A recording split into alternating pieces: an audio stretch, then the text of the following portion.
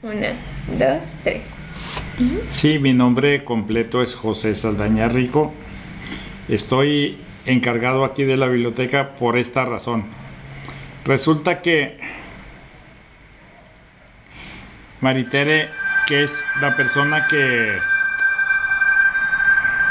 nos, soy jubilado de la UABC, y Maritere Esqueda era la encargada de la biblioteca. Nos estamos Entonces, Nosotros que tenemos más de 50 o 75 años, somos una generación única.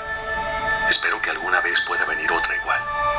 Porque somos la última generación que escuchaba a sus padres, tíos, abuelos.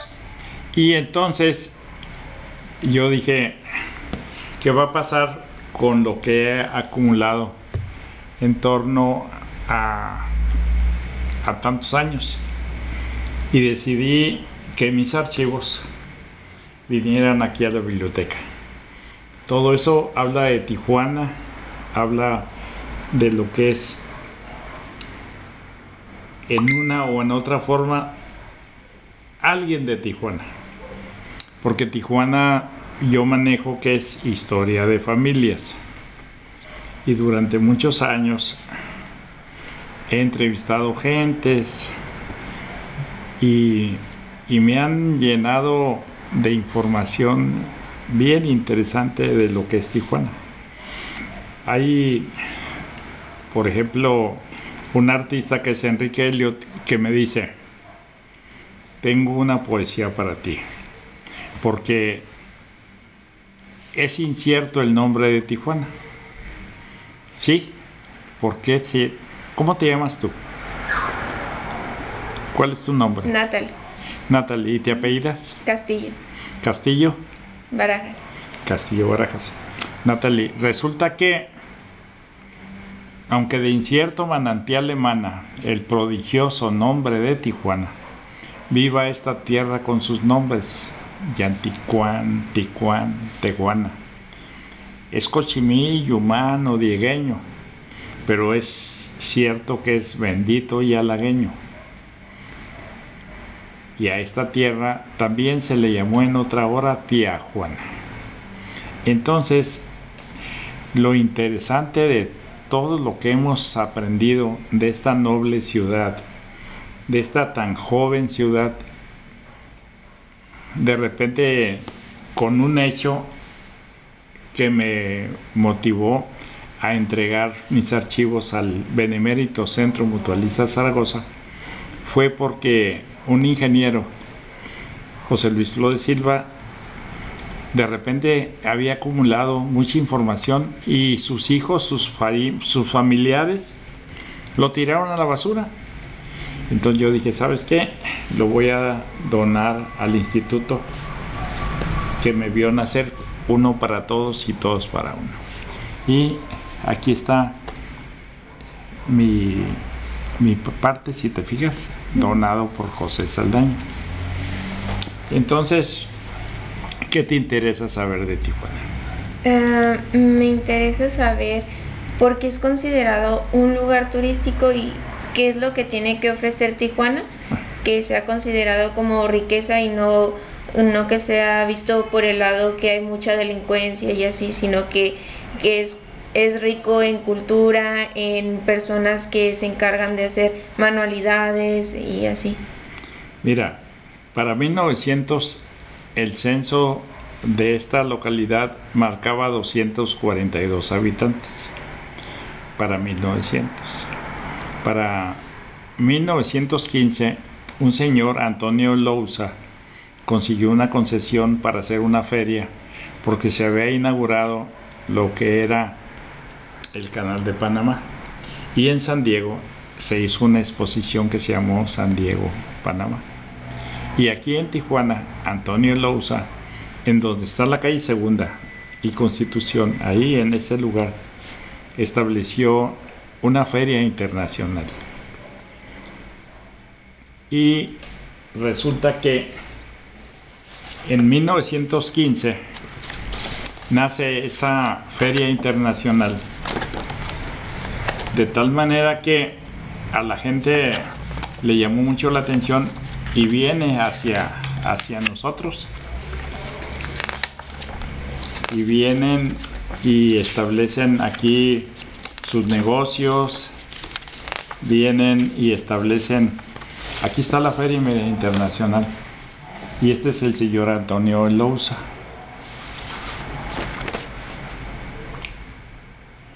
Estaba en donde es ahora el Palacio de la Cultura, en esa esquina. Pero ese lugar fue superado todavía en 1916, porque el día primero de enero de 1916, un señor que venía de San Francisco, James Cofford, estableció un hipódromo que se llamaba Sunset, o sea, significaba atardecer en inglés. Este señor era un promotor de tipo deportivo, peleas de box. Y mira, resulta que este señor que está aquí, James Cofford, establece ese hipódromo llamado Sunset, atardecer. ¿Y sabes cuánta gente viene el día primero de enero de 1916? ¿Cuánta gente crees? Tijuana tenía como mil habitantes. ¿Cuánta te imaginas que vino? No pero la imaginación te lleva. Vinieron más de 10 mil personas. Más de 10 mil personas vinieron a eso. Y aquí está, por ejemplo, venían en, en vehículos, venían a pie y venían en tren. Aquí está lo que cobraban, mira, de San Diego a Tijuana, en caminos de ida y vuelta. Y aquí está el hipódromo. De tal manera que fue un auge extraordinario las carreras de caballo. ¿Quién crees que ganó la primera carrera? ¿Quién sabe? A ver, contesta. ¿Quién sabe? ¿Quién sabe? Exactamente así se llamaba el caballo que ganó la primera carrera aquí en Tijuana en 1916. ¿Quién sabe? Qué curioso, ¿no? Simpáticas las cosas. Pues de esa manera Tijuana fue considerada turísticamente hablando, fue un boom. ¿Quién iba a atender esas 10 mil personas o más? ¿Quién iba a seguir dándole alojamiento, comida y, de- y demás?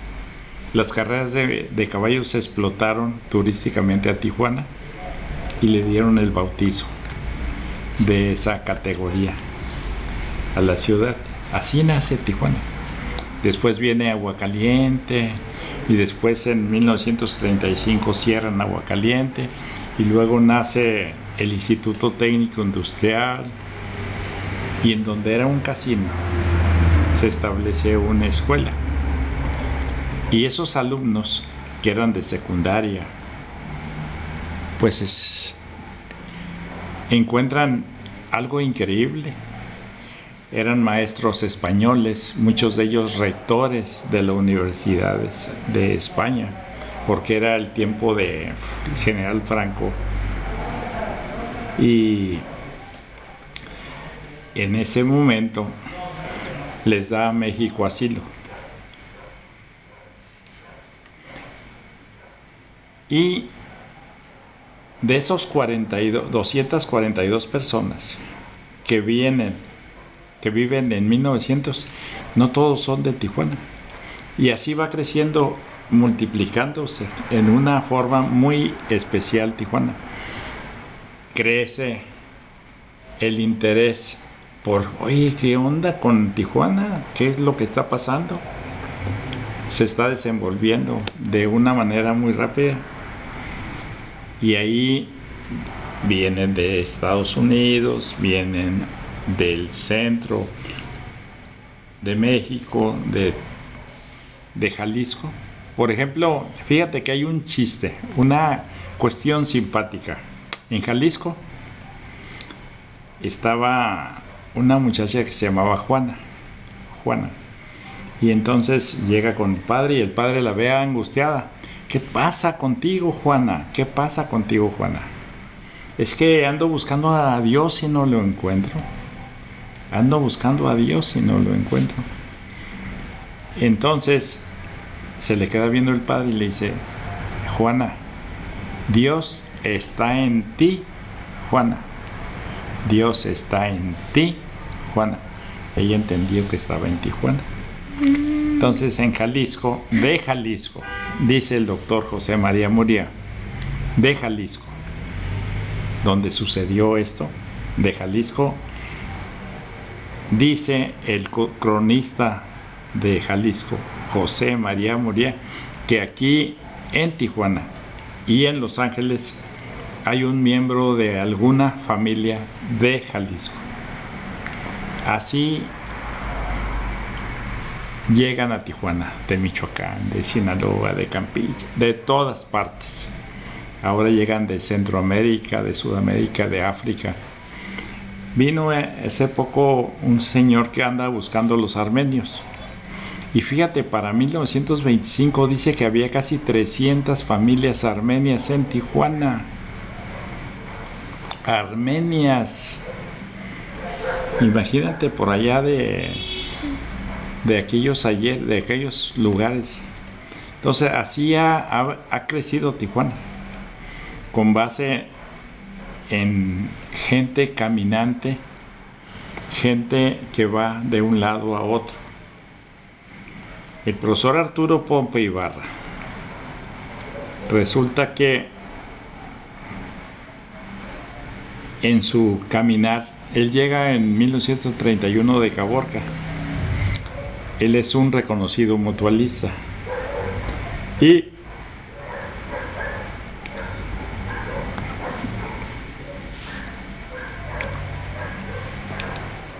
cuando llega nada más había una escuela, la escuela Miguel F. Martínez.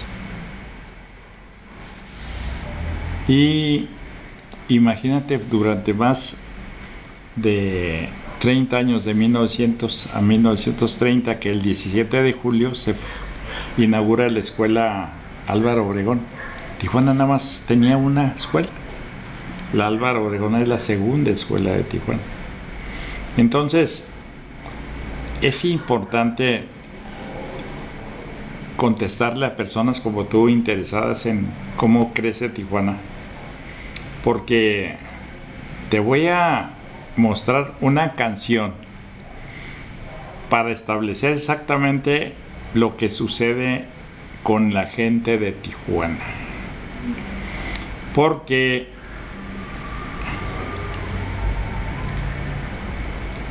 el arte y la cultura siempre nos va a llevar a verdades. En estos momentos en donde en Tijuana y otra forma de Vas a oír esta canción del maestro Arturo Pope Ibarra. Hacer otras cosas. Este personaje. Oigamos esta canción. Valórala con sus palabras. Sí. Y para que veas, ahora le dicen migrantes. Caminante peregrino que llegaste a estas tierras en busca de progreso. Guarda ya tu equipaje caminante, que tu viaje no tenga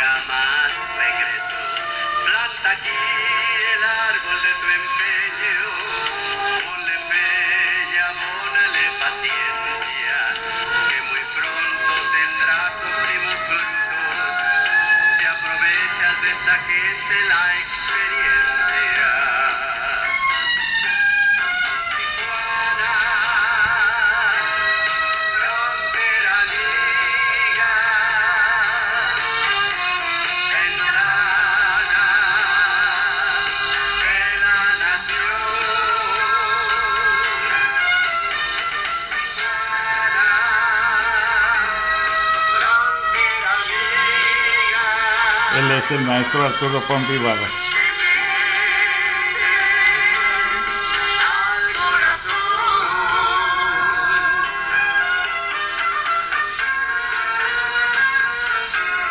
Fíjate cómo sus palabras identifican a muchas personas igual que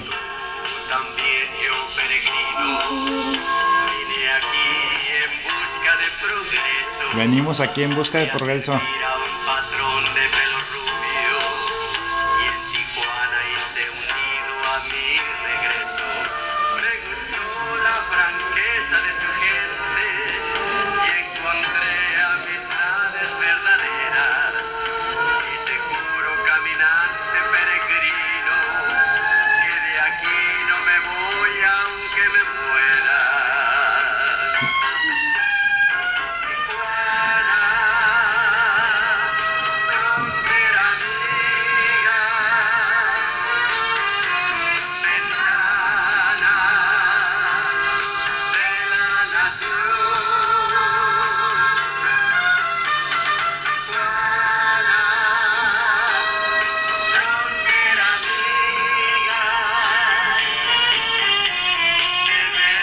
Tijuana se mete en el corazón.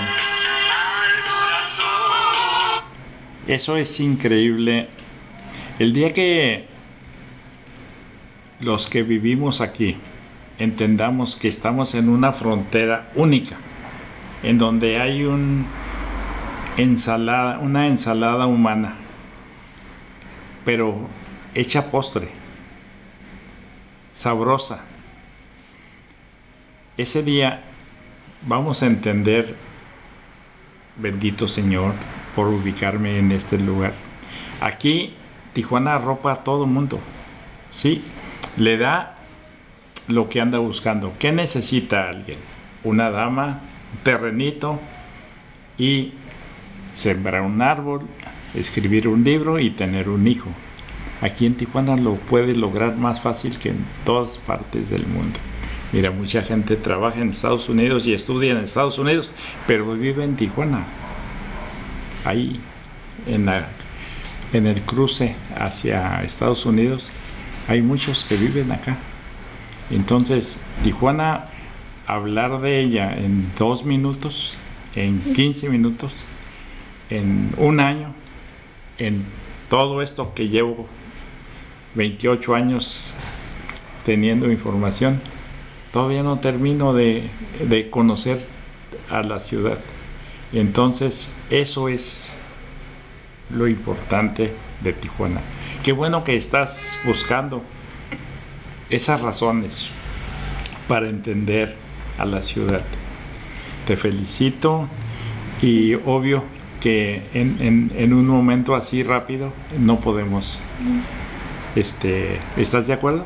Sí, ¿Verdad que sí? Sí, es mucho para... Pero ahí Pero- encontraste un caminito y hay que caminarlo. Eso es lo importante de, de lo que está sucediendo en nuestra ciudad. El día de hoy es diferente al día de ayer y el día de mañana va a ser diferente. Eso es lo maravilloso de la ciudad. Te vas al, por ejemplo, al Cerro Colorado, que significa Ticuán, porque tenía tipo forma de tortuga. Te vas a aquella parte y si les preguntas a los jóvenes, a los niños, de que Tijuana tiene frontera con el mar, ah caray, ¿a poco hay mar en Tijuana? No muchos lo conocen. Fíjate, tenemos mar. Pero muchos desconocen que hay mar. Y la historia pues la desconocen todavía más. Espero que con esto venga más. A ver, ¿alguna pregunta? Porque soy como los pericos, hablo, hablo mucho. Pues de los lugares turísticos, por ejemplo, el Secut o el Museo de la Cera, que el Museo de la Cera ah, muchas personas no saben que se encuentra o que está aquí. Así o- ¿Qué me puede decir acerca de ellos? Mira, en 1982, es el, el día que se inauguró el, el Secut, el Centro Cultural Tijuana fue algo extraordinario porque ubica un punto de, de caminar para encontrar nuestras propias razones de identidad. el Centro Cultural Tijuana. Volvemos al detalle de la cultura. La cultura nos orienta para sacar de nuestro corazón, de nuestra mente, lo maravilloso que son las palabras.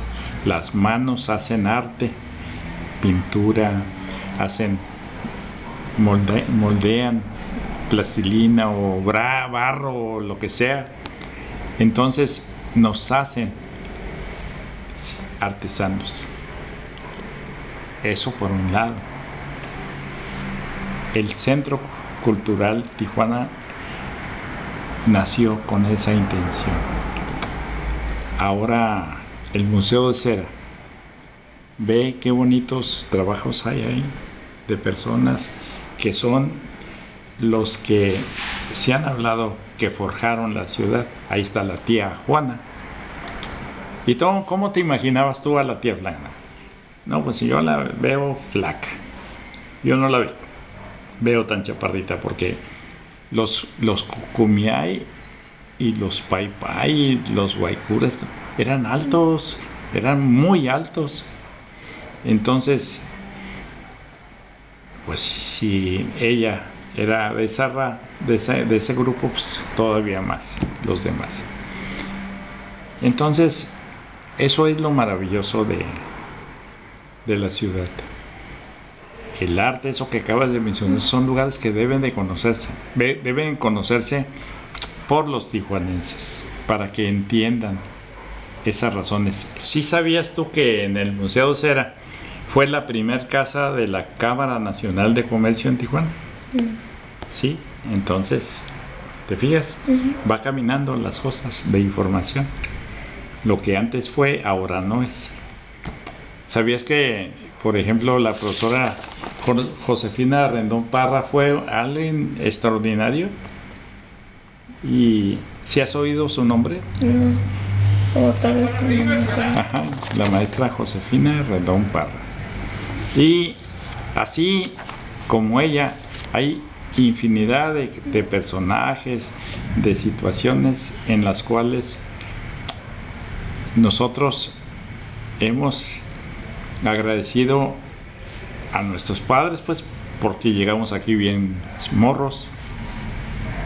Estaba- yo tenía 5 años cuando llegué a Tijuana.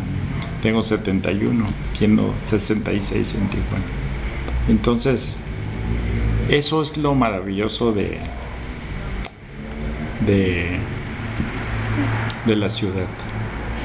Esto, que es el, el mutualismo, habla de, de, de lo que es el, la historia oral de Tijuana. Porque aquí quiero decirte algo. En 1921 hay una persona que se le prendió el foco de juntar a sus amigos. Y estaba, fíjate, eh, te, vas a, te va a gustar. Conrado García, Manuel García, Gregorio Castillo. Castillo. Sí, estaba Francisco Valdés y Emilio Garmendia. Y fundaron la agrupación llamada Centro Mutualista Zaragoza el 14 de agosto. Entonces fíjate, tú llevas un apellido de un mutualismo, de, de alguien, tu papá es mutualista, y vamos a hacer la revista con tu papá, la revista del mutualismo, y aparte es parte de, de los fundadores, tu apellido Castillo. Y hablando así, pues se hizo más que Castillo, Tijuana, en ese sentido, porque es al ojo para todos nosotros. Gracias por el interés. Espero te haya gustado. Muchas gracias a usted por permitirme hacerle esta entrevista y gracias. ¿Sí te gustó? Gracias. A tus órdenes. Muchas